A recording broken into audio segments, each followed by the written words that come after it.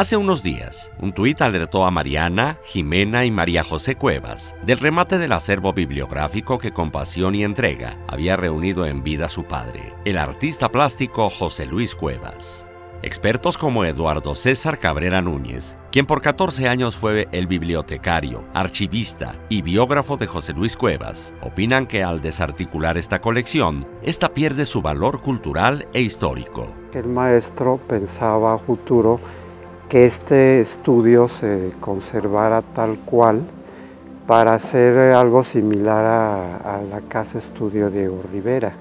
Cuando yo llegué a trabajar al Museo Cuevas, que fue tres días antes de su inauguración, ya el acervo bibliográfico estaba ahí, pero fue sacado de esta biblioteca. Ese fue el pie de base para formar la biblioteca de, del Museo José Luis Cuevas, que estamos hablando tan solo de recortes periodísticos, invitaciones, recortes de revistas, carteles, eh, pues sumaban alrededor de 20 mil piezas. El acervo de Cuevas era en su conjunto un tesoro invaluable. Tenía diccionarios, enciclopedias, libros de cine, arte y literatura de cuidada clasificación. Este material comprende desde 1953 hasta 2005 que yo lo dejé. La labor de José Luis Cuevas como ilustrador abarcaba infinidad de temas. Todo lo mismo te, podías, te puedes encontrar ahí, aunque revuelto, algún libro con la portada de él sobre algún asunto de ingeniería, sobre algún asunto de historia y desde luego de literatura muchas portadas, porque él tuvo mucho contacto con escritores dado que la literatura es una de sus fuentes en las que él abrevaba para enriquecer su obra. Tenían ese sello que es muy característico, generalmente lo ponía en la página en blanco. José Luis era un hombre de obsesiones y una de ellas era que este material se conservara pues para consulta del público, para consulta de los críticos, para consulta de eh, los periodistas, para quien quisiera consultarlo.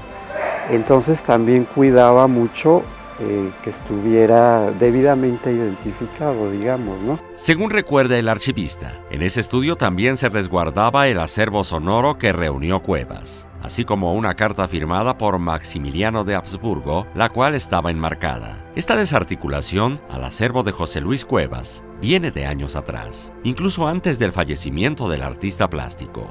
Pues la, primera alerta yo la recibí de una compañera, compañera que yo tuve en el museo, que un día me habló y me dijo, fíjate que la señora Bazán mandó retirar el bloque de portafolios, aproximadamente 15, que contenían las fotos de la familia Cuevas Riestra.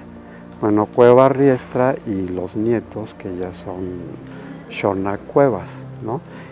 Y, bueno, pues yo no podía hacer nada, ¿no? Ya estaba fuera del museo, pero esa fue la primera advertencia, hace unos ocho años más o menos.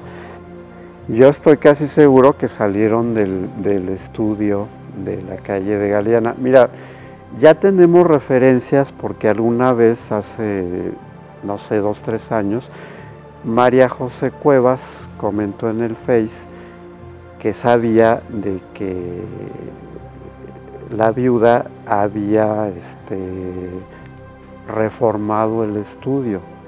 Cuando tú haces una reforma en un espacio, ¿qué es lo primero que haces? Vaciarlo, ¿no? Y es un, estamos hablando de un espacio bastante grande. Entonces, lo primero que tuvo que hacer era vaciarlo.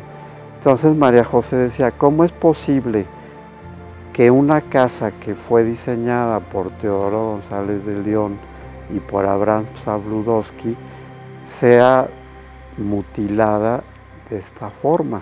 Notimex constató que aún hay libros con el sello de José Luis Cuevas en aquel puesto de libros de viejo. Su precio es de 25 a 35 pesos según el tamaño y sus ilustraciones las autoridades presentes pues eh, yo no tengo datos precisos de que hayan tomado una acción, concretamente en, caso, en el caso del museo.